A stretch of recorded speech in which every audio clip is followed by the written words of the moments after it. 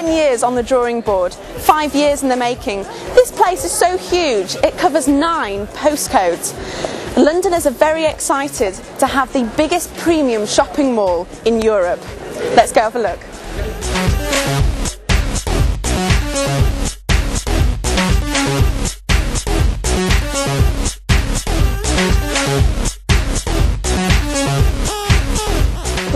The village, the luxury section of the Westfield Shopping Centre. This is the kind of place you'd come to for your little Dior purses or your giant Mulberry bags. Luxury lingerie brand Myla have chosen the Westfield Shopping Centre for their flagship store.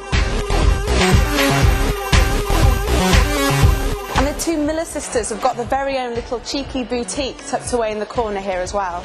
And suddenly you turn a corner and you get this huge, massive sense of space.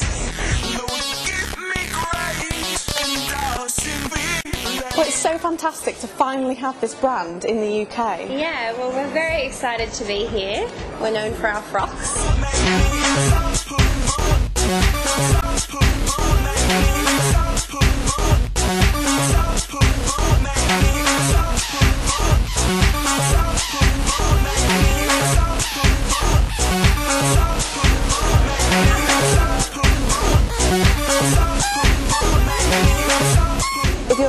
Your boyfriend, your father, your brother, your cousin, your uncle, make sure you visit this store because it is full of gadgets.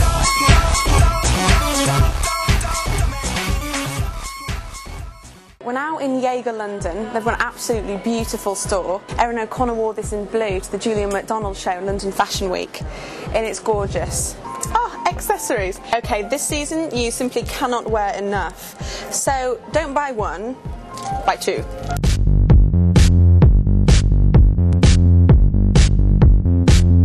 Jaeger is a perfect store to visit for menswear as well. They've got a fantastic collection of shirts, all in some really nice on-trend colours. So we're here in the absolutely gorgeous Mulberry store with a rainbow of different amazing totes. This bag is called the Shimmy and it's Yeah. the, the new bag of the spring spring summer Wow. collection. Very exciting. This is the first standalone UGG store in the UK and they also do fashion. And some of the shop fronts look absolutely fantastic and really quite quirky.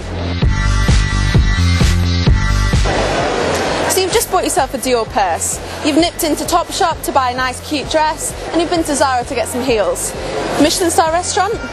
You can if you wish. No matter what your taste buds are, there's something to entice you here. Absolutely gorgeous Vietnamese street food as well. Nothing quite works up an appetite like shopping. There's a rotisserie over there which smells divine. And pies. Now we're talking.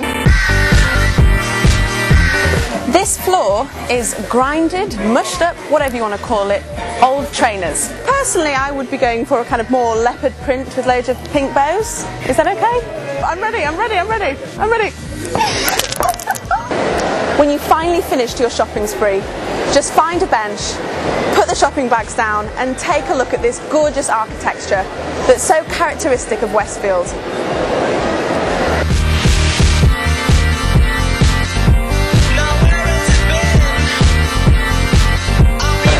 History of retail, there's always been this invisible barrier between luxury brands and the high street.